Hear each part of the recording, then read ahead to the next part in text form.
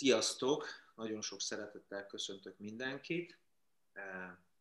Ez a Gyere fel Ivánhoz című eseményemnek az online változata, most a ugye érthető módon a, a Covid-dal kapcsolatos rendelkezések miatt, a pandémia miatt, de talán ez is egy jó apropó arra, hogy a jó dolgoknak nem kell feltétlenül megtörniük és megszűnniük azért, mert valami kihívás vagy akadály van az életünkben, csak egyszerűen eléggé rugalmasnak kell lenni, adaptívnak, és valahogy át kell hidalni a, a dolgokat, és ez egy tökéletes használata talán a modernkori technológiának is. És nagyon-nagyon sok szeretettel köszöntöm az egyik külön kis kedvencemet, dr. Bagdi Emőkét, és köszönöm, hogy, köszönöm, hogy itt vagy, és nagyon-nagyon nagy megtiszteltetés, őszintén mondom, nagy, nagy esemény, köszönöm. Én is szeretettel köszöntelek benneteket. Nekem az megtiszteltetés, hogy meghívtál, és hogy százan vagyunk, leszünk együtt végül. És valahogy úgy érzem, hogy át tudjuk azt a távolságot hidalni, amit ez a furcsa világ ránk kényszerített. Mert magamban is sokszor érzem, valahogy az az erő, ami egy beszélgetésben megszületik kettőnk között, az most felfokozódott bennem, és valahogy úgy érzem, hogy nagyon közel vagytok, ti, akik voltak éppen virtuálisan messze vagytok. Ez egy olyan különös érzés, amit képes vagyok megélni, hogy valami olyasfélét tudnék mondani erről, hogy a nyomába jussatok, milyen érzés ez, hogy legszívesebben így megölelnétek benneteket, megölelnélek benneteket, hogy, hogy egy, egy nagyon szoros közelségbe együtt legyünk. Hát ez egy vágy. Ez... Mennyire, mennyire nehéz neked ez, hogy, hogy uh, lekorlátozottak az emberi kapcsolatok? Mennyire, miközben tudjuk, hogy, hogy adaptálódni kell, de neked mennyire nehéz adaptálódni, vagy mennyire kezeled ezt könnyen? a magánéleti helyzetet elválasztanám a szakmaitól, és a szakmait emelném ki, amiben én megszenvedtem, hogy Skype terápiás formára kellett átállnom, és mindaddig, amíg, mint egészségügyi, a vakcinát meg nem kaptam, addig én nagyon betartottam a szabályt, nagyon-nagyon szorosan, szigorúan. Igazából először nagyon nem szerettem a Skype terápiákat, és múl az ember alkalmazkodik. Én legalábbis ez történt velem, tudtam alkalmazkodni, mire már kijöhettem belőle, mert most újra élőben rendelek, mire kijöhettem belőle, már egész jól adaptálódtam. Barátaink között, szeretteink között, a tévében, Facebookon, mindenhol láttuk, hallhattuk, tapasztaltuk, hogy hogy van, van aki talán ébredettebben, magasabb tudatszinten, egy, egy érettebb személyiséggel, érettebb személy, kezeléssel, kríziskezeléssel oldja meg a dolgokat, valaki talán alacsonyabban, még nem ott tart, még egy kicsit éretlenebbül,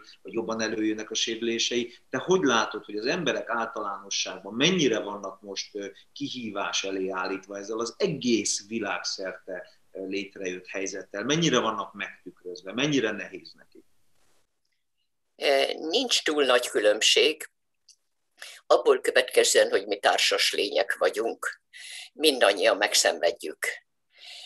Storino nevű szerző már egy éves kutatás alapján kezdetektől kutatta a dolgot, karanténbetegségről beszél, mégpedig olyan karantén fáradtságról, így nevezi konkrétan karanténfáradtságról, ami abból ered, és minnyájunkra jellemző, bizonyos mértékig itt lehetnek az általad említett finom differenciák.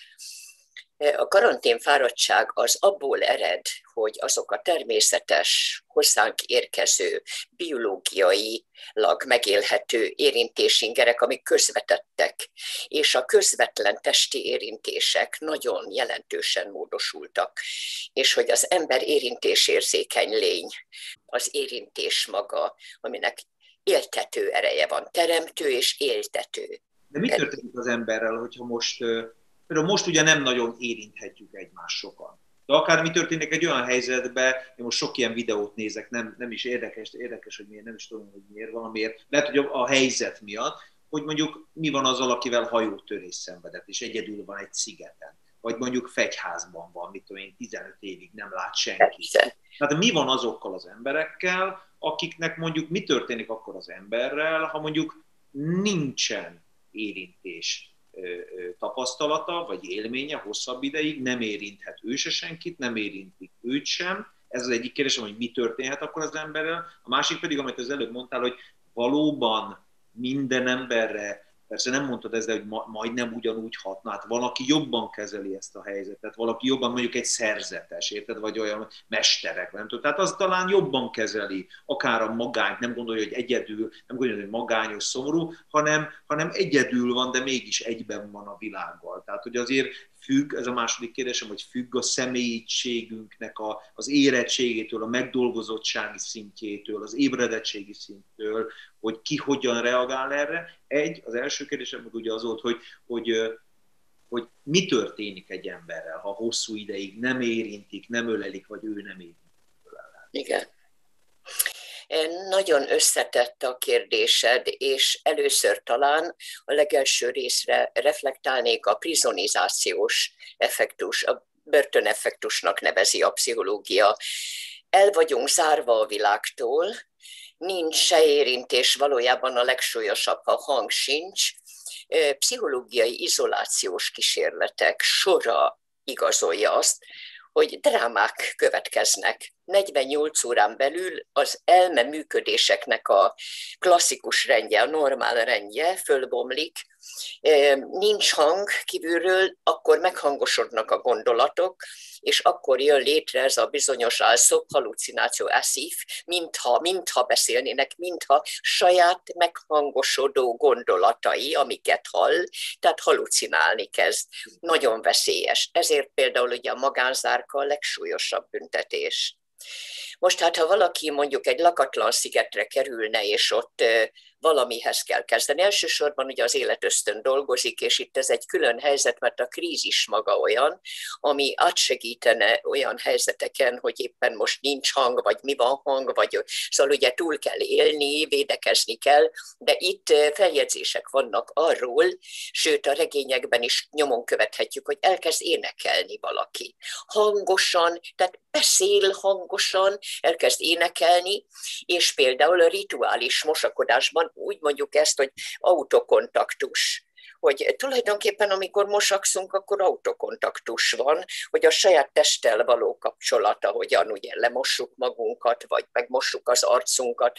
Például nagyon érdekes, hogy a fürdési szertartások, mióta ilyen elzárt helyzetekben vagyunk, azóta például a magányos embereknél, magányosan élő embereknél például, akiknél látogatók pótolják az érintést, vagy ők kell, hogy elébe menjenek az érintési helyzetnek, például sokkal több az ilyen önápoló bőr problémák jelentkeznek, és sokkal több az ilyen önápoló, hogy hosszabban fürdik, és így tovább. Autokontaktus. Ugye sosem lehet tudni, akár, akár börtön, hát mondjuk ki, akár kórház, akár elkerített állapotok, karanténhelyzet, akár ez a mostani. Mégis mondjuk egy ilyen helyzetbe kerülünk. Megbeszéltük, láttuk, éreztük, hogy mennyire fontos az érintés, most elmondtad az érintés fontosságát. Mégis ezt ugye ugye azt kérdeztem, hogy milyen hogy személyiségektől függően, érettségtől függően hogy dolgozzák fel az emberek. Hogy tudjuk ezt mégis úgy feldolgozni, hogy most nagyon profál leszek és egyszerű a közember számára, érted, hogy ne őrüljünk meg, hogy ne legyen valami pszichózis, hogy ne gondoljuk azt, hogy Jézusom, hanem ezt hogy tudom ezt kezelni, hogy tudom ezt megoldani, hogy tudom ezt harmonikusan megoldani. A válaszhoz vissza kell egy lépéssel még lépnem, mert arra nem válaszoltam, hogy a személyiség típusok szerint például különbözőképpen bírjuk ezt a helyzetet. Az elviselésnek a mértéke, tehát a tolerancia szint nagyon különbözik az szerint, hogy egy introvertált személy vagyok-e, aki eleve úgy érzem, és idegrendszeri folyamatokról van itt szó, tehát nem az a hétköznapi introverzió, amit mi általában tudunk, hogy visszahúzódóbb az egyén, meg hasonló, hanem idegrendszeri folyamatokban úgy képzeljük el, ez úgy zajlik, nekem is, neked is, minnyájunknak van, egy az agykéregnek egy bizonyos rezgés számú alapfeszültségi szintje Most, ha te introvertált vagy, akkor neked az alapfeszültségi szint magas, minek következtében a nagyon kicsi ingermennyiség is, vagy kevésbé intenzív is, úgy hat, mint a bomba, már bocsánat, csak így jobban érthető talán, hogy tehát nagyon intenzíven éled meg, és az, az idegrendszeri introverzió az, amikor én azért húzódom vissza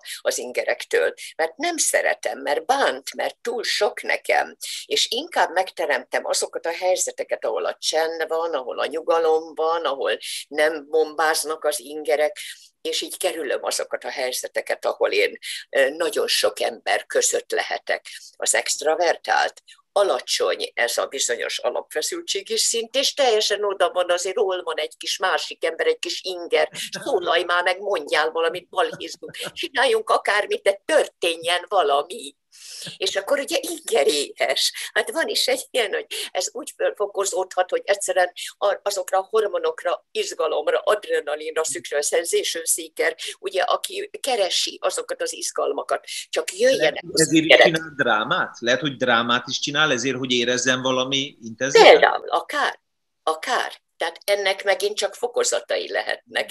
Tehát most akkor itt most tudok válaszolni a kérdésedre, miután tisztáztuk, hogy egy introvertált számára ez nem olyan nagy megpróbáltatás. Nyilván igen, mert az érintés rész biztosan e, számára is jelentős, csak hát ugye azért el lehet képzelni, hogy aki párkapcsolatban él, aki családon belül él, azért ezeket az érintés szükségleteket azért csak tudja valahogy pótolni. Itt inkább a magányosan egyedül élő ember veszélyeztetett ilyen szempontból. Te melyik vagy? Te melyik vagy?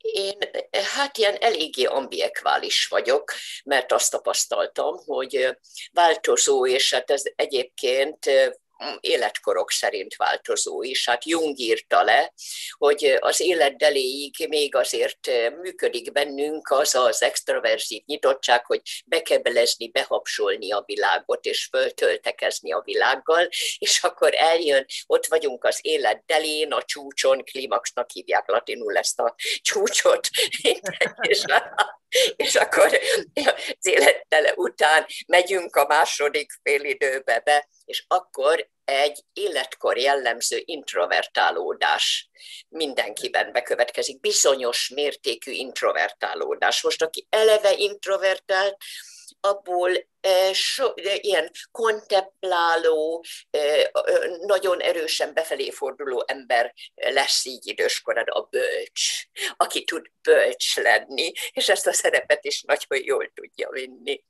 Neked, neked az idő és a kor előre haladtával lazultál, áttetszőbbé váltál, lágyabbá váltál, kerekebbé, vagy pont, hogy ugye a kor előre haladtával bölcsültél, vagy a kor előre haladtával lehet egy picit rigorózusabbnak is lenni, kicsit élesebbnek, kicsit már nem annyira vagyok laza, rugalmas. Például van egy karantén, nem vagy már fiatal. Minden tisztelettel, csak megbeszéltük, hogy... Abszolút, hát ilyen nyílt mert, mert, így lehet áttetszőként, transzparensen látni a dolgokat, hogy, hát- hogy mégis azt látom, hogy a fiatalokkal abszolút fölveted a versenyt abban, ahogy, amilyen lazán kezeled a helyzeteket, akkor te a kor előre haladtával lazultál pont, hogy a, a merevségeid, a gátjaid azok leomlottak, vagy jobban lágyultak? Hát meg fog lepni, amit most mondok, és valószínűleg akik hallgatnak minket, meglep benneteket. Én nagyon szorongó fiatal voltam. De nagyon megtanítottak arra, hogy ennek a kifejezése az kerülendő. Hogy kell egy életfegyelem, egy összetartottság, és meg kell tanulnom azt, hogy elviselkedjem a helyzeteket, olyannyira szorongó voltam, hogy mikor életem első előadását tartottam, le volt írva, és a papír reszketett a kezemben. Most lehet, hogy ezt nehezen hiszik el nekem. Én kiszabadultam. Azzal szabadultam ki, hogy hozzá segített az, hogy annyira szeretem azt, amit csinálok. Olyan fontosnak érzem ebben a fapados, pszichológia szegény kultúrában, hogy mondani kell, ez a küldetésem, ez a dolgom, mondani, tanítani, átadni, semmit nem őrzök meg, mindent adok, tanuld, tudjad, ne szorongj, éljél boldogan, szabadulj ki. Tehát azt, amit én megéltem, és amit köszönhetek ennek a szakmának, annyira szeretném, hogy át tudjam adni, hogy hozzá segít. Ha pszichológiailag befele haladunk önismeretbe, először befele kell haladni ahhoz, hogy kin legyek önmagamban. Na most ez a paradoxon, mert ez az, de valójában befelé kell haladni, hogy megtudjam, hogy miért görcsölök be, mikor kiállok, hogy a papír, hát én tudom, hogy mit akarok mondani. Saját munkám, saját gondolataim, szóval ehhez belül el kell érkezni önmagunkhoz. Miért fontos az önismeret? Miért fontos önismeretbe járni? Miért fontos magunkat megismerni? És a magunkat megismerni az nem az, amikor mi kamaszkorba, vagy fiatal felnőtt korba, vagy az jó, én már ismerem magam, tudom kb. milyen vagyok. Ugye azt tudjuk, hogy az igazi mély, egyre mélyülő, befelé figyelő önismeret, amikor jár az ember egy terápiára, akár egy praxisba, önismereti saját élménye van, hát az, az bőven nem, ez az meghaladások vannak, transformációk vannak. De a, ennek a, a, a magyarországi, bocsánat, nem akarok nagy szavakat mondani, de mégis így van, hát legyünk tisztában, magyarországi bölcsét, vagy egyik fő képviselőjét kérdezem, mint akire tényleg odafigyelünk mindannyian. Az egész ország odafigyel rá. Miért fontos minden egyes ember számára egy pszichológiai, személyiségi önismeretemőke? Azért, mert nem vagyunk készen. Mert az igazi önismeret az annak az útnak a megismerése, hogy én hogyan lettem olyan, amilyen vagyok. És olyan önismereti zárlatok vannak, olyan elsősorban tíz éves korig azt se tudjuk, kik vagyunk. De ez így van, úgy is nevezi a pszichológia önismereti zárlat, mert ki mondja meg, hogy milyenek vagyunk 6-10 éves kor között. Ki mondja meg? Tanítónéni. Már még nem is a szülő, mert van az úgynevezett átpártolási jelenség, amit Mére írt le, hogy a szülőnek a mindenhatósági fantáziája, hogy a szülő mindent tud, azt a gyerek elhagyja, és a, a mikor iskolába bemegy, akkor tanító, a tanító néni lesz a mindenható, aki megmondja a tutit. Mindig ő mondja meg, már a szülő ellenében is tehát őtől le fogjuk megtudni, vagy a minket értékelőktől fogjuk megtudni, hogy mi kis hülyék vagyunk, alkalmatlanok, tökéletlenek, semmire se fogod vinni az életben, és itt nem mondom ezeket a szörnyűségeket, mert itt történnek nagyon-nagyon nagy hibák. Mert amikor még védtelenek vagyunk, amikor még csak felvesszük ezeket az információkat, belénk táplálnak olyan dolgokat, amik hamisak, és olyan hamis képek alakulnak ki, hogy nem tudok bízni magamban, nincs önbizalmam. Iván, nagyon-nagyon sokaknál tapasztaltam ezt az önbizalom hiányt. Hát bennem is az önbizalom hiány működött, mikor a papír reszketett a kezemben. Nem pedig igazán, mert, mert, mert nem, nem bíztam abban, hogy én képes vagyok valamire. Most, ha, és ugye én egy protest, protestáns világban nőttem fel, ahol nem dicsérnek a te dolgot, hogy csak tedd a dolgot, de azt nagyon magas színvonalon, és hogy ezért mi, hát az természetes, hogy te tanulsz, meg jól tanulsz, meg teszel dolgokat. Tehát ha nem dicsérnek, akkor nem tudhatom, hogy ki vagyok. Ez az önismeret, amikor én végigmegyek azon az úton, hogy hogyan váltam olyan, hát miért vagyok bizonytalan. Hát csak egy példát mondok, párkapcsolati kötelék, hogy éppen beleszerelmesedsz valakibe, és hogy elkezdesz azzal párhuzamosan aggódni, ahogy növekszik a szeretet és szerelem érzése. Talán nem vagyok elég szeretetre méltó. Hát hogy ne lennél szeretetre méltó? Hát mindjárt az univerzum gyönyörű csillagai vagyunk, miért ne lennél? És hogy mégis beleáll a fejedbe a gondolat, hogy nem. Hát honnan jön ez? Onnan, hogy e, az élet, a növekedésed bizonyos időszakában olyan hatásokat kaptál, öntötték be, amit te betettél, beültettél, hogy te nem vagy annyira szeretetreméltó, csak akkor, ha ezt megcsinálod, azt megcsinálod, jó gyerek vagy, engedelmes vagy, és itt ez egy nagyon kemény dolog. Mert hogy ugye tulajdonképpen ez az igazi szeretet, hogy annak ellenére is szeretlek, hogy abszolút nem vagy szeretetreméltó, ugye? Mert ugye kötelék az olyan erős és olyan biztos, hogy nem kételkedem benne egy önismereti utat végigjárt ember megtanulja, hogy adja másiknak szabadságot, mert ha szabaddá teszed őt, akkor megtudhatod, hogy önmagadért hogy tud szeretni. Önmagadért.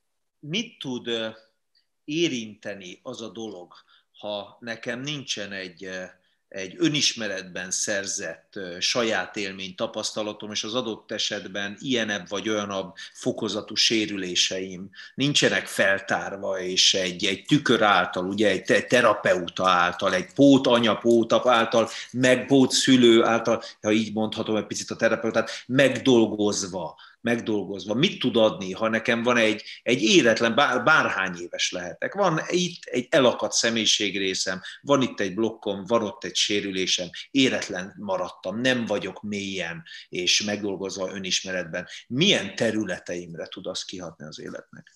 Az életminőségre, a boldogság képességre, hogy hogy érzem magam a bőrömben. Alapvetően meghatározza. Amikor mi azt mondjuk, boldogságra született emberi lények vagyunk, tényleg arra születtünk, de hogy elérjük-e azt magunkban, azt a lehetőséget, hogy szabadok legyünk, mert csak ha szabadok vagyunk, akkor tudunk boldogok lenni. Tehát tulajdonképpen mindenre hat. Hát tulajdonképpen az egész életed, hogy csak a boldogságra. Igen. És még egyet szeretnék mondani ehhez hozzáfűzve, hogy persze, mikor önismereti hézagokkal, hiányosságokkal végig kell élni az életet, és mondjuk nem adatik meg, hogy egyszer valóban elindulj egy ilyen önelemző, mások segítségével önelemző úton, akkor lépten nyomon sérülések érnek mert a hajdani megpróbáltatások, traumák nincsenek kinyitva, átdolgozva, kiszellőztetve. És azt a példát szeretném mondani, hogy amiről mindjárt mindjárt értjük, miről van szó, nem lehet traumamentesen fölnövekedni. Ekkor, akkor vagy amakkor a fejlődés útján kapunk, jól behúz az élet, kapunk valami olyan ütést, amit persze túlélünk, de nincsen igazából megmunkálva, hanem lesüllyed, a, úgy mondjuk a tudattalamban, ma már tudjuk, az érzelmi agyban enkapszulálódik, bezárul, mint egy kapszula, magába foglalja azt a sérülést. És akkor ott egy érzékenységi terület alakul ki, mint mikor megvágod az ujjad, és mit ad Isten, be van kötve, de mégis folyton azt az ujjadat ütöd be. Miért pont azt az ujjadat? Mert ott van a seb, mert érzékeny vagy.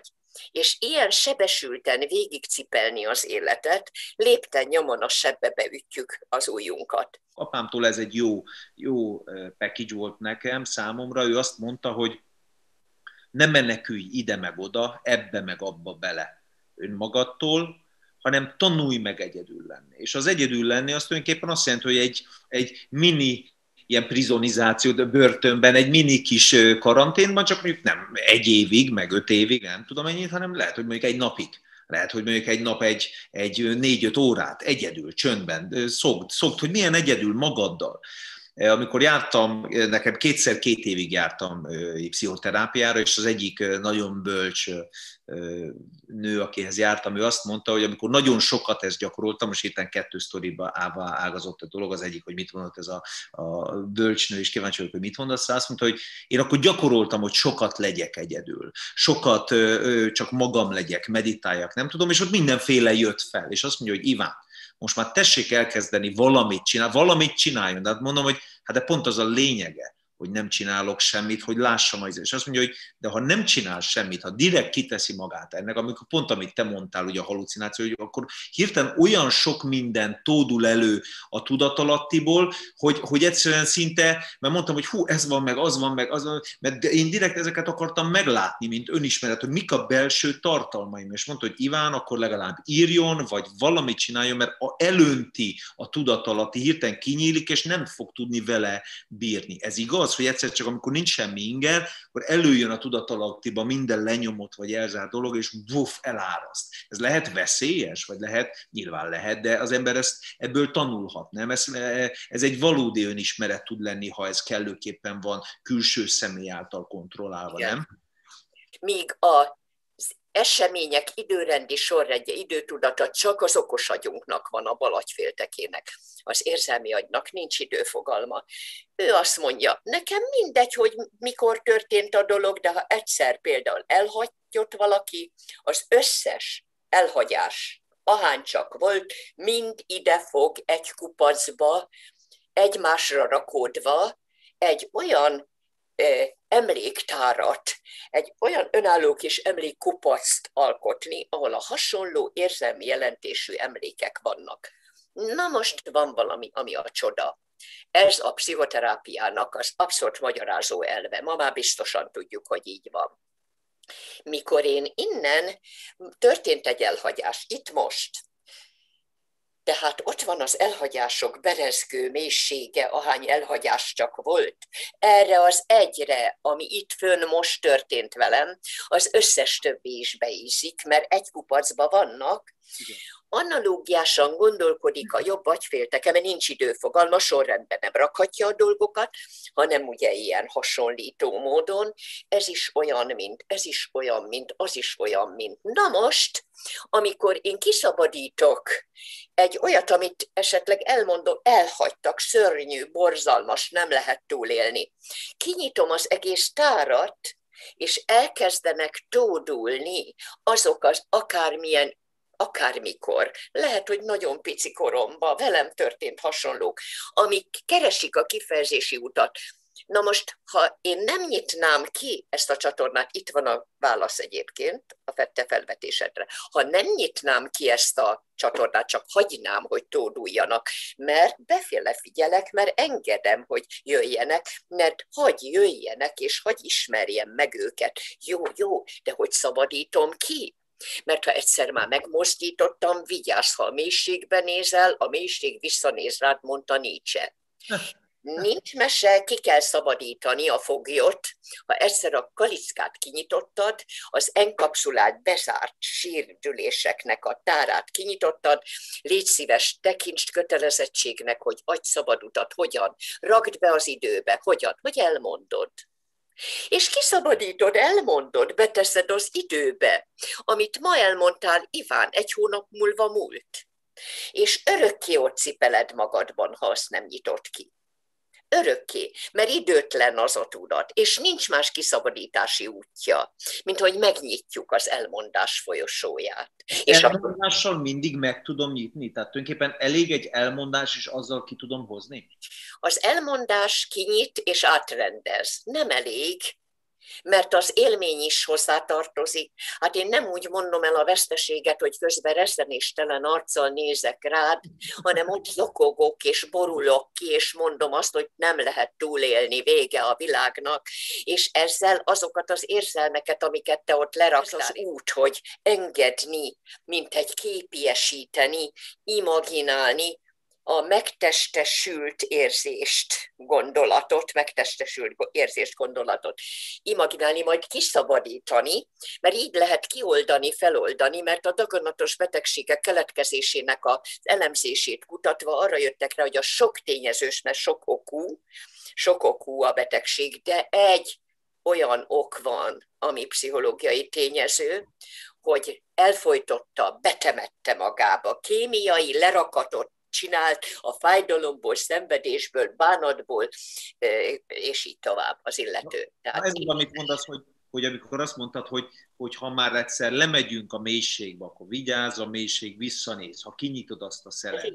És elmondtad, hogy körülbelül hogy kell nyilván bonyolultabb, mélyebb, de hogy körülbelül hogy hogy kell kiengedni. De hogyha, pont azt akartam mondani, és de jó, hogy mondtad, hogy oké, okay, de hogyha egyes emberek azt mondják, hogy na jó, hát akkor én ezt nem nyitom ki, hát nem vagyok hülye, hogy kinyissam, hát a mélység visszanéz, oké, okay, de akkor meg a tudatalattiban ö, lenyomott, elfolytott ö, ö, sérelmek, tartalmak olyan szinten akár a testen is manifestálódhatnak betegségek folyamán, vagy akár pszichózisok lehetnek, tehát az sem jó, sőt, az rosszabb, inkább nyissuk ki, mint egy elgennyesedett, betokosodott sebet, nem? Tehát kijön a genny, az fáj, de, de jöjjön ki onnan, ami ott van. De hát az egész pszichoszomatika meg van fejtve, már tudjuk.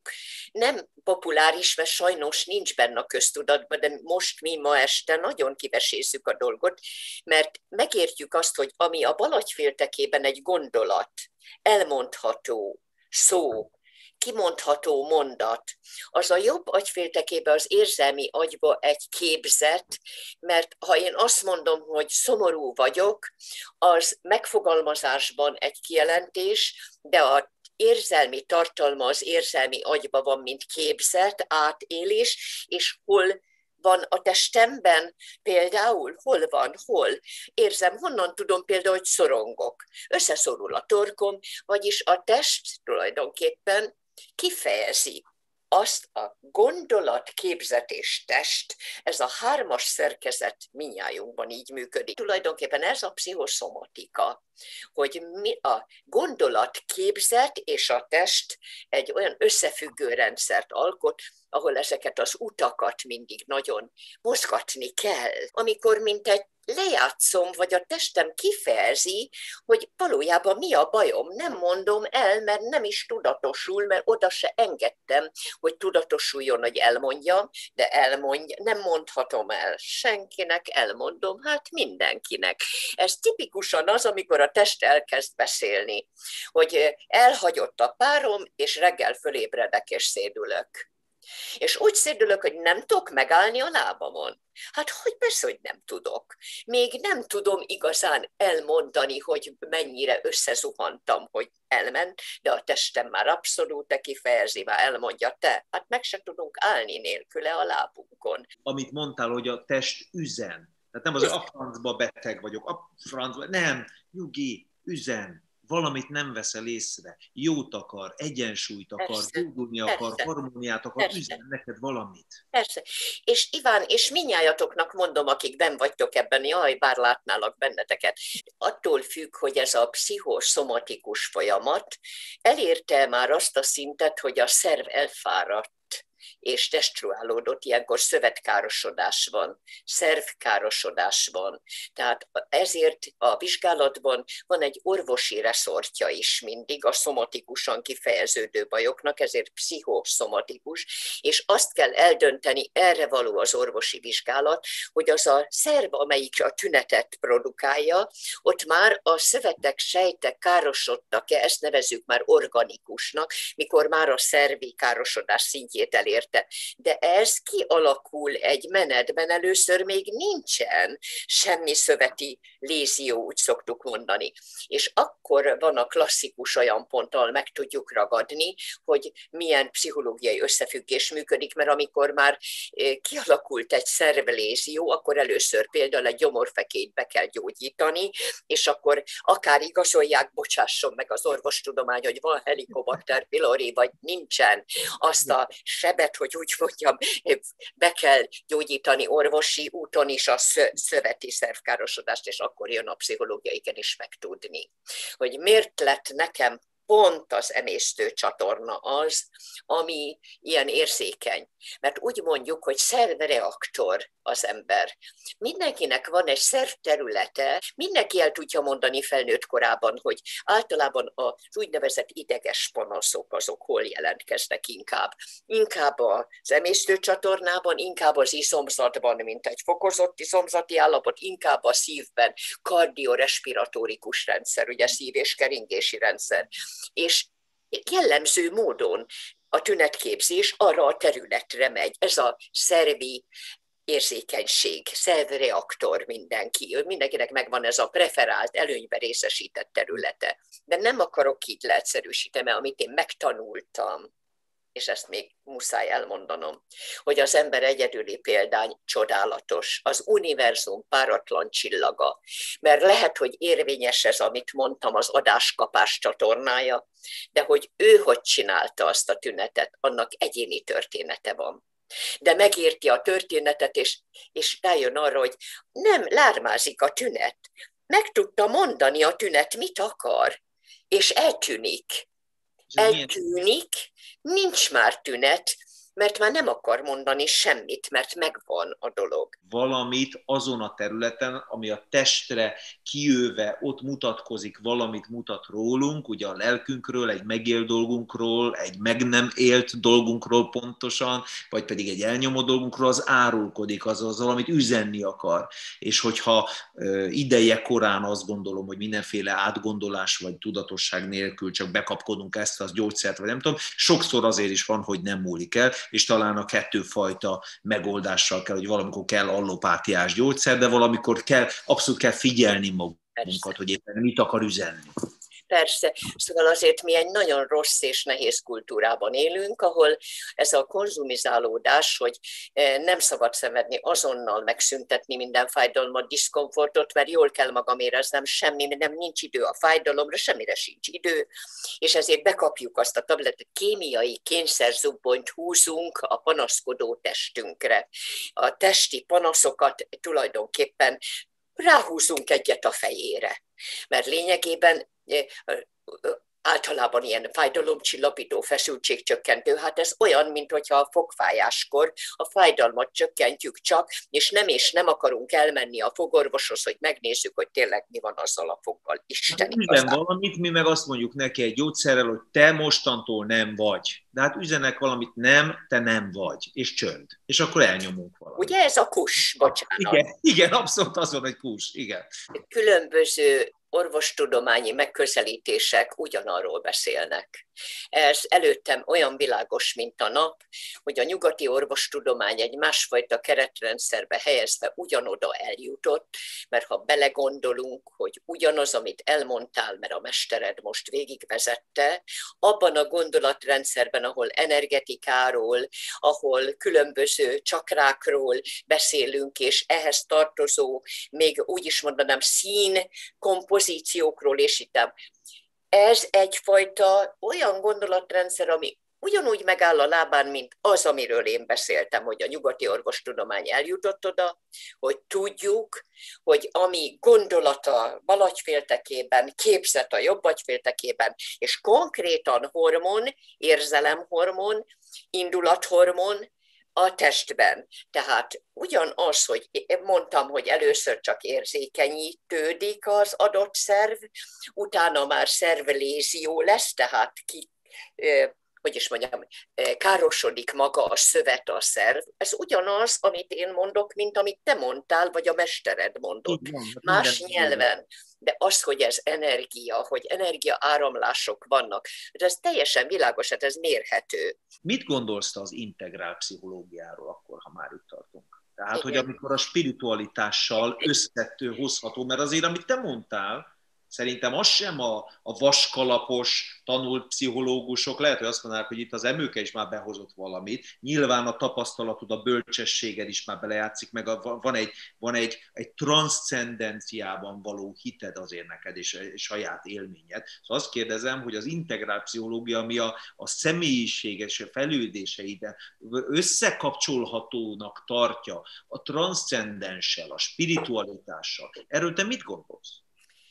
Hát határozottan azt gondolom, onnan kiindulva a transpersonális pszichológia alaptételéből, aminek az első modelljét azért Maslow, ugye a humanisztikus pszichológia nagyja, akinek szerintem a motivációs piramisát a világon mindenki ismeri, ugye mindenki, hogy szükségletpiramis. De ugye ő alkotta meg azt a nagyon, nagyon kézenfekvően szép modellt, ami a transpersonális pszichológiába is, spirituális pszichológiába is, az a negyedik erőirányám a pszichológiába, azt tudjuk, negyedik fő erőirány a pszichológiában, ami ezzel a dimenzióval foglalkozik, és egy olyan holisztikus emberképet állít elénk, amiben van a materiális dimenzió az, hogy születtél, fölnősz, átmegy olyan szükséges stádiumokon, hogy fölnövekszel, és a hardware hozta a parancsot, kiserdülsz, ha tetszik, ha nem, megöregszel, ha tetszik, ha nem, a folyamat a matéria szintjén megy.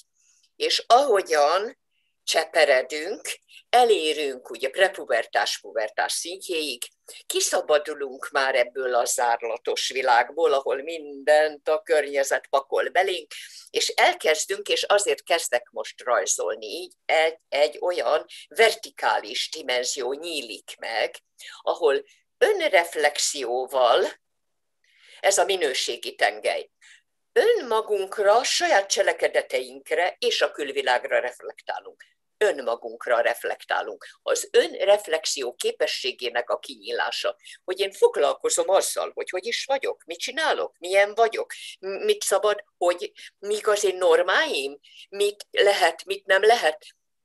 A szabályok, az életszabályok elkezdenek kirajzolódni, és elkezd az etikai dimenzió növekedni, feltéve, ha tápláljuk. És akkor a világnézet tulajdonképpen így ezen a tengelyen alakul ki. A világnézet az neked is van, nekem is van, valójában egy vélekedésrendszer, hogy mit hiszünk, és már rég elhagytuk a tudomány minden bizonyítható tartományát, mert hogy te mit gondolsz a világról, én fejet hajtok előtte, hogy te hogy magyarázod, de a te világmagyarázatod, a te világnézeted és a te világ szemléleted. És ez nem egy materiális dimenzió, ez egy, egy vertikális, spirituális. Na most a, az az a mainstream pszichológia, amiről mi most beszélünk, a nagyiskolák, amit tanítunk, meg aminek az állásfoglalásai olyanok, hogy be vannak betonozva, és tulajdonképpen csak egy újabb kísérlet robbanthatja ki új eredmény, a korábbit és száfolhatja meg. Ez a pozitivista, empirista, csak a mérések, csak a tények, csak a bizonyítékok. Na most ez a transpersonális dimenzió, miért transpersonális? Mert át kell lépned önmagadon, mert önmagadból ki kell kell lépned. Abban a pillanatban, amikor önismeretről beszélek, hiába köröztöm önmagamba, csak másba moshatom meg arcomat. Nélkület semmi vagyok, nélkület senki vagyok. De oda el kell jutni, hogy én egyáltalában saját magamra is, mint kívülálló nézek rá, és számon kérek, elszámolok, elszámoltatok és a világgal való kapcsolatomban is értékítéleteim vannak, minőségeim vannak. Na most az integrálról kérdeztél.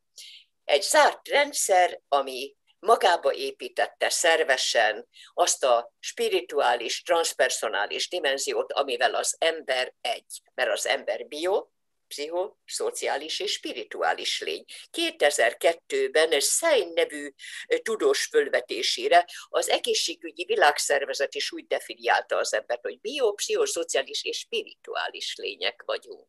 Nem lehet már kizárni a spirituális világot.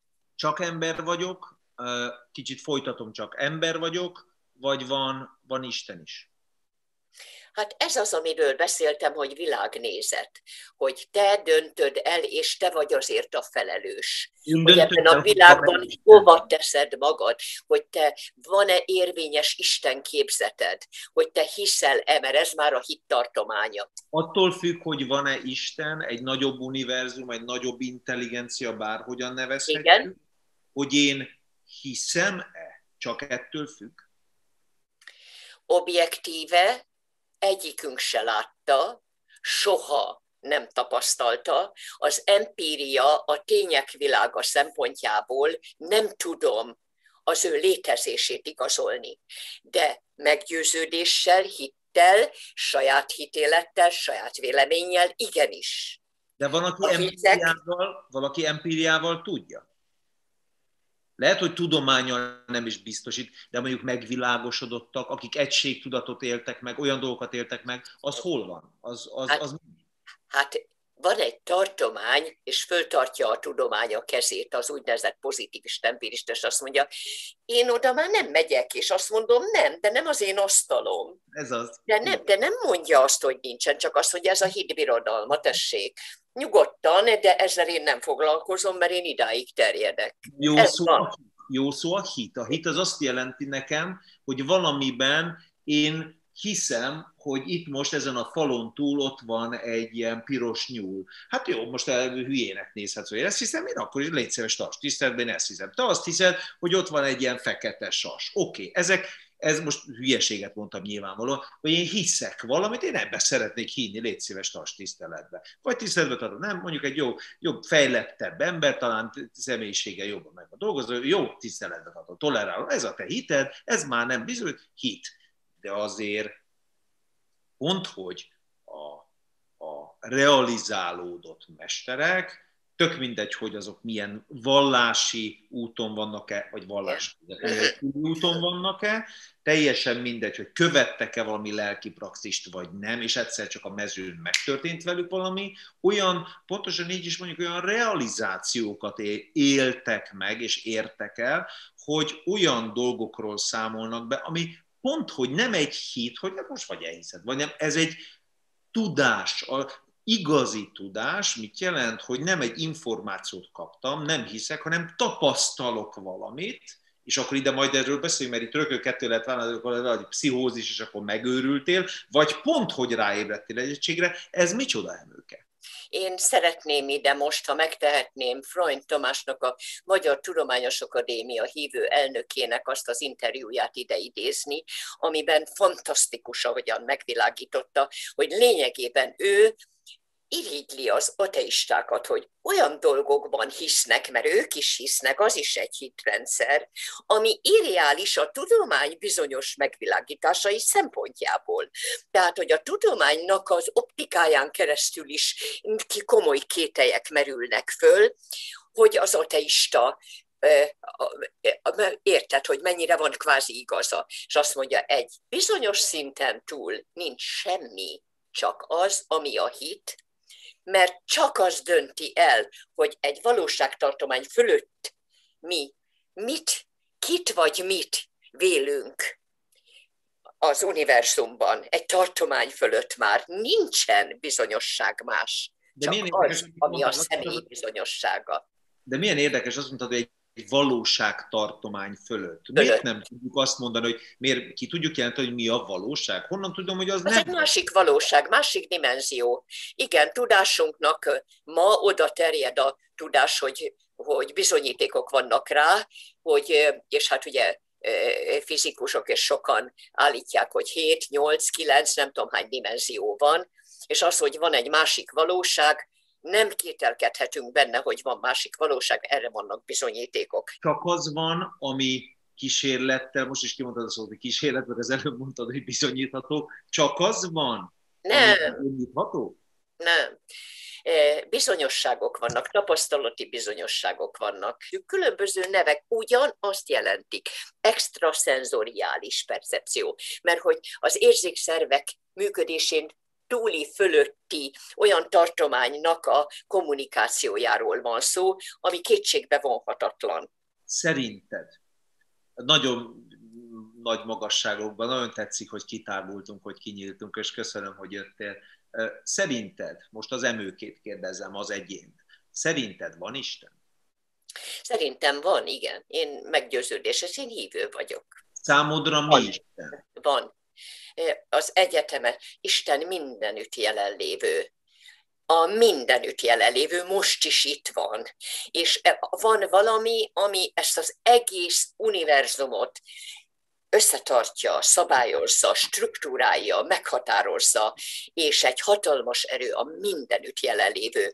Na, tehát az én hitem szerint, ugye én református hitben élek, és hiszek a predestinációban, hiszek abban, hogy nem véletlen, hogy megszülettem, hogy rendeltetése van az én parányi kis hangja életemnek, hogy valami feladatom van, meg kell találnom az életfeladatomat, akkor leszek boldog, akkor is vagyok boldog, ha azt csinálom, ami a rá megtalált életfeladatom, és az élet az valójában adni tudás a szolgálat maga.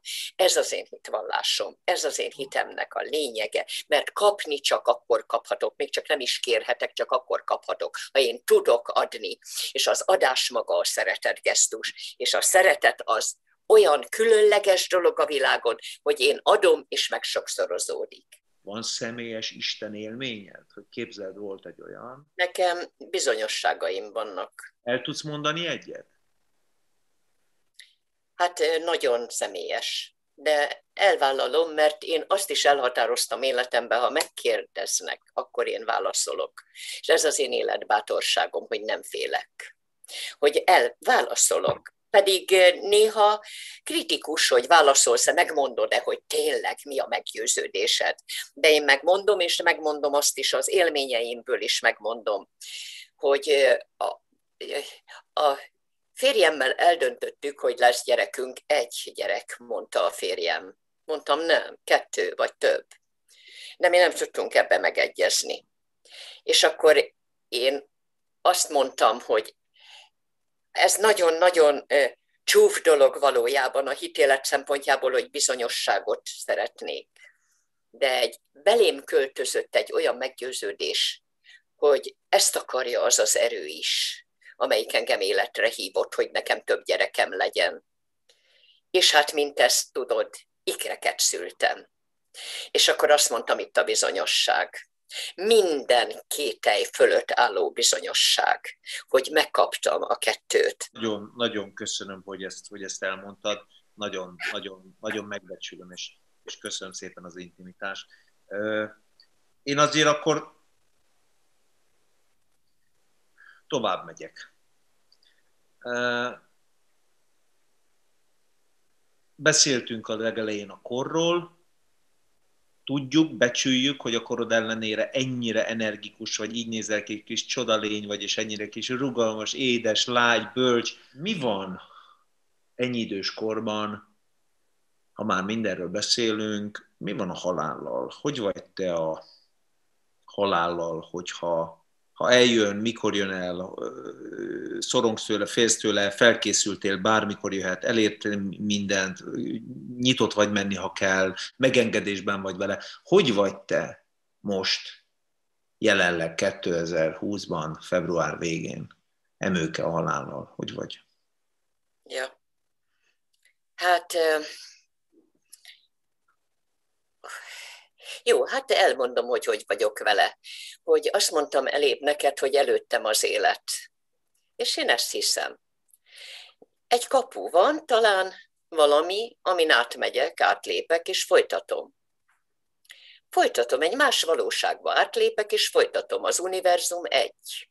Most itt vagyok, valamit végigéltem, ami egy feladat volt aztán majd talán kapok más feladatot, talán tovább élek, talán lesz valami más rendeltetés, mert csak átalakulok, nem tudhatom, hogy hogy folytatom, de hogy bennem az, ami a halhatatlan rész, az az isteni emanáció, ami akkor, amit akkor kaptam, amikor megtermékenyült az, tehát amikor, amikor tulajdonképpen a szerelem engem létrehozott, és akkortól vagyok a küldetésemben, és aztán ez az, ami a lélek, ami az én mély hitem szerint, ami mikor átlépek, akkor mindazt, ami a gúnyait hagyom, mert már egy más világban másfajta, más lesz minden.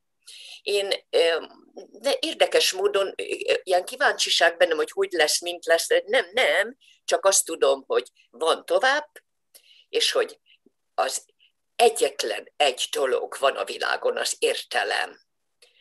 Minden értelmes.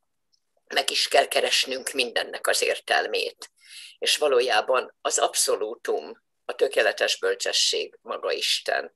Vagyis ha én átlépek egy másik valóságba, ott majd folytatom, majd megtalálom a rendeltetésem, majd lesz valahogy, de az élet a kapuja előttem nyitva van. Tehát nem úgy tekintek erre, hogy bezárul valami, mert a bennem halhatatlan rész az, az ugyanúgy, ahogyan velém került, ugyanúgy majd megy, és tovább megy, és folytatja az útját, és nem tudom, hogy hova, de nyitva van a kapu, és előttem az élet. Körülbelül így vagyok, és ezért nincsen halálfélelmem, hát nincsen. Ez gyönyörű ez, ez, ez, ez, ez, ez, ez egészen gyönyörű volt. Meg nagyon érdekes, mert ebből következően nincsen életkor érzésem. Hmm. Szóval, hogy lehet, hogy már illenék idős asszonynak lenni, nem tudom, hogy, de abszolút nem, nem érdek életfeladat, rengeteg, és, és ez, hát amit mondtam a szolgálat, hogy én nagyon szeretek dolgokat tenni, alapítani, továbbvinni, támogatni. Szóval, hogy, hogy azt tesz boldoggá. Ha most találkozhatnál valakivel, bárki, aki most él, vagy bárki, aki valaha élt, ki lenne az? Azzal az egy személlyel találkozhatnál, ki lenne az? Édesanyám. Miért? Mert elintézetlen volt a, az búcsunk, és mert ugyan megtörtént a vele való, hogy is mondjam, egy pótlólagos ilyen lelki földolgozás, de egy ölelés hiányzott, egy fizikai ölelés.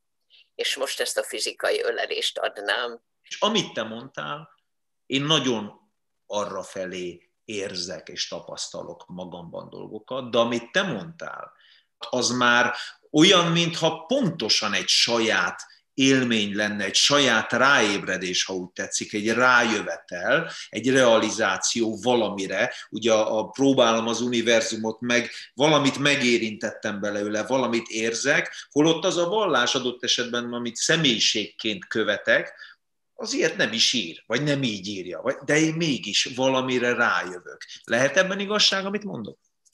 Hát én úgy hiszem, hogy te is, én is életfeladatul kaptuk, hogy kaptunk valamilyen tanításokat segítségül, hogy megértsük az univerzumot és ezt a világot, és egyéni feladat, hogy dolgozzuk ki magunkban azt, ami számunkra a saját holisztikus valóságunkban kerekegész is, amihez tudjuk magunkat tartani, és akik mi vagyunk, ezért mondja az én szakmám és a pszichológia, hogy az identitás, tehát önazonos, ki vagy te a világban, annak a koronája a hit a meggyőződés, belief, mi, mi van a fejedben a világról, magadról, a világról és a kettő kapcsolatáról. Nekem, amit te mondasz, hogy hit, az nekem az a fajta kinyílt spiritualitást és rá eszmélést jelenti, amit én, én meg így hívok, de amit ugyanakkor, amikor azt mondom, hogy a hit nekem mást jelent,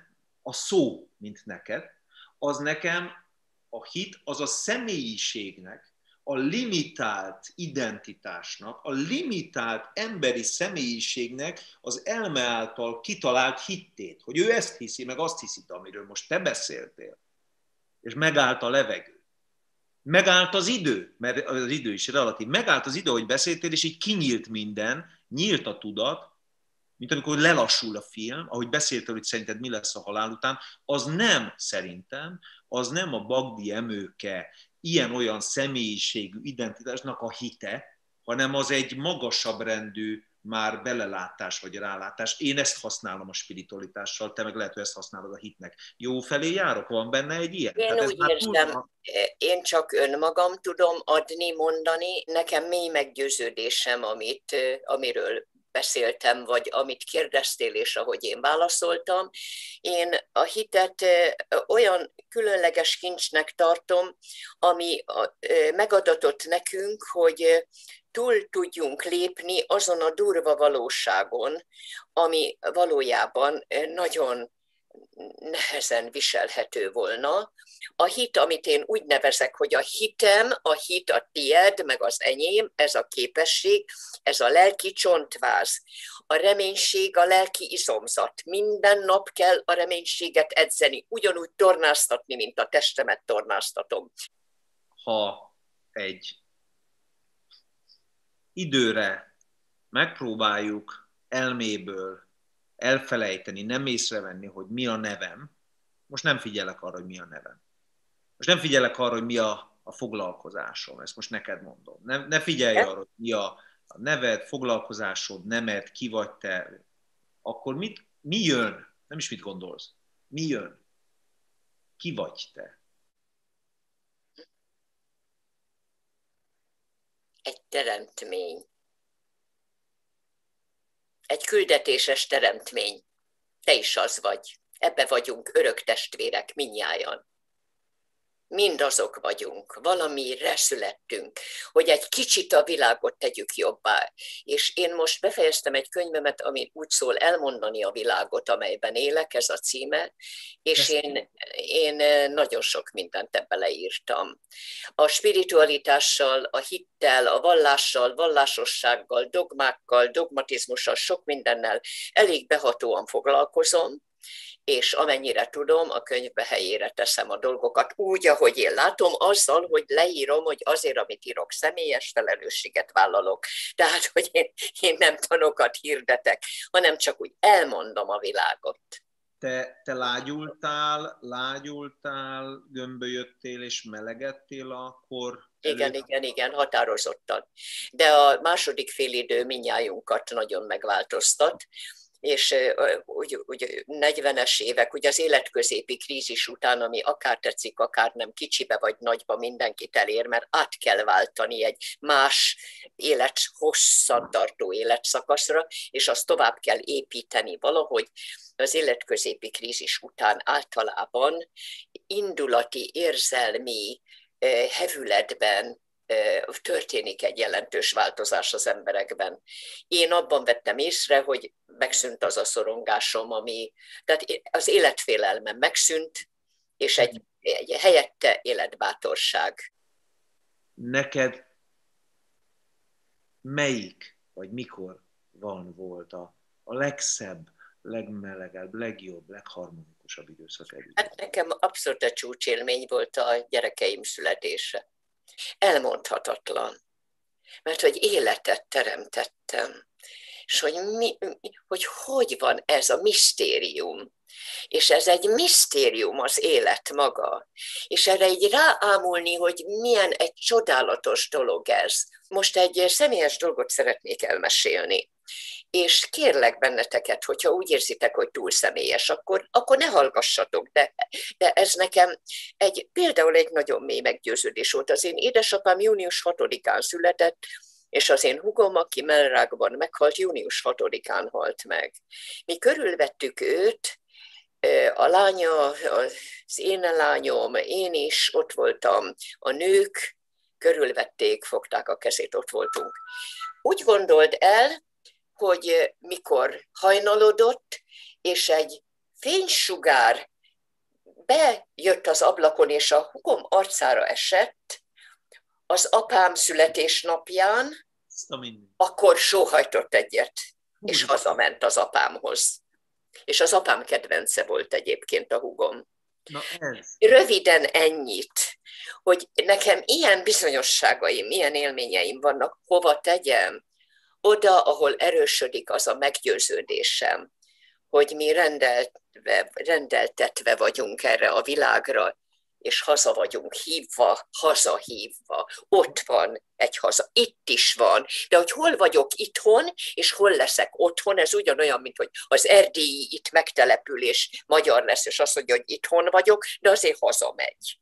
Na de ez az, ez az ami, amiről, erről, amit beszélünk, hogy, hogy ezt azért nem találja nagyon már meg a pszichológia, ez hogy tudomány, ez hogy bizonyítod, nem tudom, de attól még ez, nem hogy ez attól még van, hát ez van csak igazán, hát mekkora élmény, mindenből érezzük, az összes ember, aki hallgatta és téged, érezzük, látjuk magunk előtt, és azt mondjuk, hogy Úram Isten, és itt térdre esünk, de ez nem a személyes, az agynak, az elmének a hite valamiben. Lehet, hogy ha valakinek nincs hite, az is ez egy bizonyossága lesz. Az egyetemes értelemnek egy egy szikrája itt van, te benned egy, én bennem, és mindjáratokban, akik itt vagytok most, és együtt vagyunk egy szellemi közösségben, hát ebből a isteni értelemből mind ott hordozunk egy morsányi, valamennyit. A laptopban is benne van, benne van a pohárban abszolút.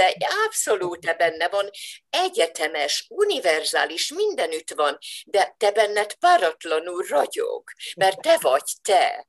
Szóval ettől olyan nagyon fantasztikus ez az egész. Múltkor azon filozofáltam így magamban, hogy amikor azt mondjuk, hogy ugye eleve elrendeltet, és végül is erről van szó, hogy sors, vagy pedig szabad akarat, hogy én hajtom. És az jutott eszembe, hogy nem, ez nem sors volt, ez az én szabad akaratom. És ha azt nézzük spirituálisan, ahogy néha gondolkozom, hogy oké, okay, ez a te szabad akaratod. Jó, a szabad akaratod az végül is mi? Az, hogy én akartam. Jó, de az mi az, hogy te akartad? Nekem jött a fejembe ez a gondolat. Tehát én így döntöttem és honnan jön az a gondolat? Hát erről van szó.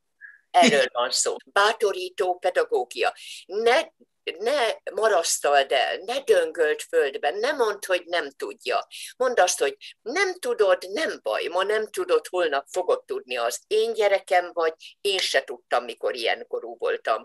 Én is szorongtam, ne félj, elmúlik, majd kiszabadulsz. Tehát mindig csak a pozitívat bátorítani, azt a kicsi lelket, akinek kell az, hogy kapja ezeket a kis cölöpöket, hogy a, ott biztonságban érezzük magunkat. Amikor fölkelsz, ott mit csinálsz? Azt mondod, amikor fölkelek, van egy dolog, pár dolog, amit én csinálok. Ja, hogy reggel mit csinálok? Igen. Mielőtt kinyitnám a szemem, elmondok egy kis mondókát, amiben mindig az van, hogy hála, örülök a mai napnak. Én ezt megfogalmaztam úgy, hogy közé is adtam, mert az a rögeszmém, hogy ha nekem beválik, biztos másnak is érdemes kezdeni a napot. Önkísérletet szoktam ajánlani, hogy csináld úgy, hogy egy hétig nem mondod, csináld úgy, hogy egy hétig mondod, és trigulázd, önkísérlet, önkontroll, és trigulázd, hogy mennyi jó dolog történik veled. Szóval, hogy jó reggelt felébredtem, jó reggelt kívánok magamnak, mindazoknak, akiket szeretek, és akikkel ma találkozni fogok, ma valami jó dolog történik velem. Oda vezetek egy fénysugarat a lábujjaimhoz, végigvezetem, mosolyog, minden pici sejtem, örül a mai napnak, mert ma valami jó történik. Na most tulajdonképpen ez egy programozás. Én ennek el tudom mondani a tudományos hátterét. Azon kívül ugye én imádkozom. Most ez nagyon személyes, és erről nem tudok mást mondani, mint mindenki másként teszi. Nekem megvan az a fajta utam, tehát mire kinyitom a szemem, én azt akkor már elég hogy is mondjam, abszolút kinna nagy világában, de hogy a, a, a hálaadóimát elmondom, és akkor van egy olyan, ami egy ilyen mozgásos gyakorlatsor, amit csak egy gyógytornász volt, amin összeállítottam magamnak egy ilyen kis programot. Mi a mozgásod, amit csinálsz? Mi a, mozgásod? a mozgásomban ez teljesen azon alapon nyugszik, hogy tudom, hogy melyik mozgás mit csinál, mit ér el a szervezetemben. Tehát először is mindig egy bemelegítő mozgással kezdem, de mivel az extrapiramidális vezérlésű nagy lendítő mozgások egyben antagonisták a szorongásközponttal, nem létezik, hogy szorongó reggelem legyen, mert ugye az antagonizmus révén ki van ütve a szorongás központ, nagy lendítő mozgások, és a százat szoktam csinálni ebből a, a, a lendítő hát törzshajlítással, gugolásba, magas tartásba lendítés, majd vissza le, és föl, és le, és föl, csináld meg. Tíz után lihegsz, ha elkezded, de mikor már begyakorlod, akkor a százat szépen végigcsinálod. Ez nagyon komoly teljesítmény. Hát lehajolsz, és föl, és le. Legugolva, legugolsz, és föl és le, és föl. Száz. Minél inkább próbáljuk az életünket ahhoz hasonlóan napirend szempontjából beosztani, mint amikor volt a békeidőben az életünk, annál inkább az egész idegrendszerünk, lelkünk, lényünk vissza tud találni egy egyensúlyba. Ha eddig nem volt valamilyen életfegyelmünk, akkor most meg kell adnunk magunkat annak, hogy hogy az időbeosztás, az idő struktúrálása soha nem volt ilyen fontos, mint most.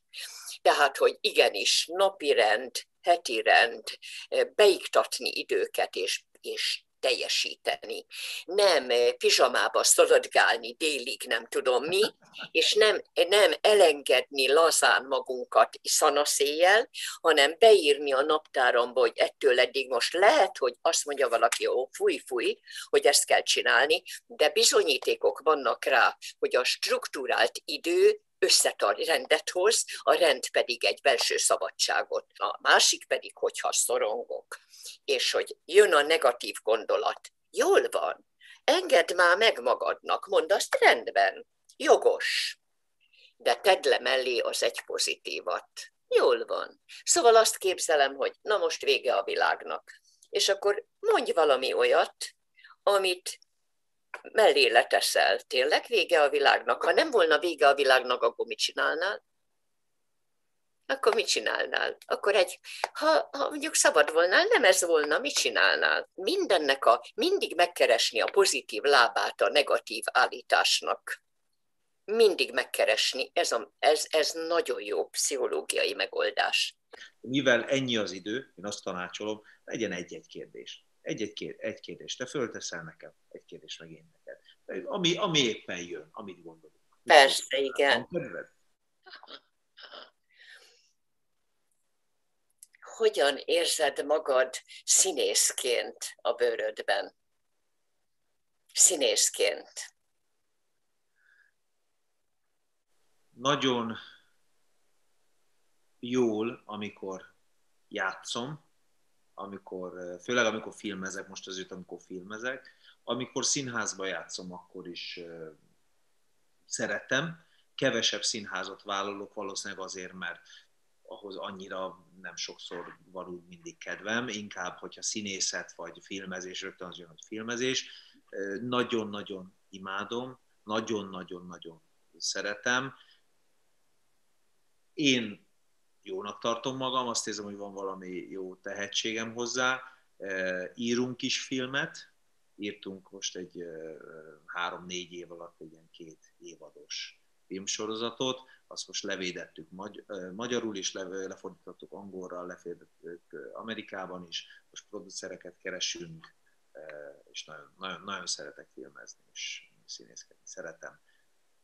Ma is egyébként voltam egy castingon, egy filmre járok castingokra, valamikor külföldi, valamikor magyar, úgyhogy azt az egy fontos hivatásom és életutam és dolgom nekem az életben. Te is, amit mondtál, hogy milyen családból nőttél, és hogy a mére is, vagy nem tudom, mondta neked, és mondtad, hogy hát azért annyira jó nem vagyok. Lehet, hogy most innen is jön egy mérei. Az Isten innen is valahogy szól most jó. hozzá, hogy de, de egy nagyon jó lélek vagy, és egy nagyon jó ember, és sokat adsz, és sokat adsz, és le a kalappal előtted az, hogy mit hoztál ki az életedből, és hol tartasz, és emberileg is, le a kalappal. Köszönöm szépen. Nagyon köszönöm, hogy köszönöm szépen. Voltál. Köszönöm, és nagyon tisztellek, és köszönöm, hogy itt voltál. Köszönöm. Nagyon örülök igazán, szívesen, de most jön a kérdésem. Ez nagyon fontos nekem, hogy te mit találsz az életed értelmének? Mi az életed értelme? Megleptél. Várjál.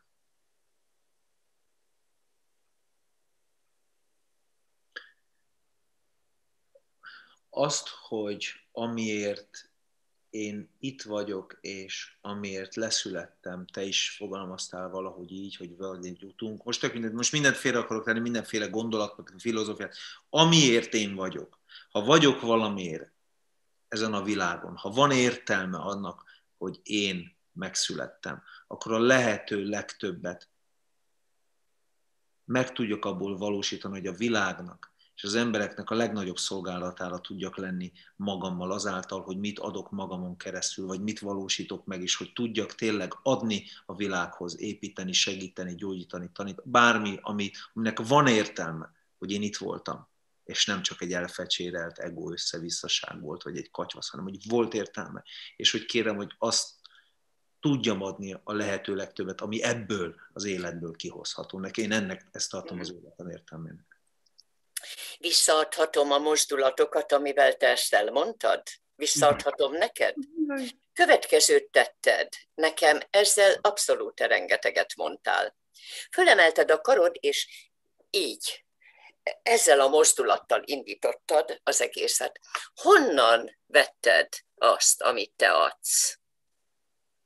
A jó Istentől, az univerzum. Jó, jó, csak ezt akartam. Mert te ezt el megmutattad. Tehát megmutatod, amit a szavaidon túl, azt is kifejezted, hogy te valamit kaptál, ami a te talentumod, és te azzal jól gazdálkodsz. Azért, mert továbbadod, nem ásod el, hát most ilyen bibliai példát mondok, ugye, nem ásod el, és nem gyarapítod úgy, hogy adsz és azzal, hogy adsz. Szóval ez nekem egy, hálás vagyok a válaszért, mert ez a mozdulat teljesen kifejezte azt, hogy te ebben a meggyőződésrendszerben adsz, hogy amit kaptál, azt továbbadod. És hál' Istennek kaptál. Úgyhogy ez nagyon jó, hogy tehetséges vagy, hát ezt tudod.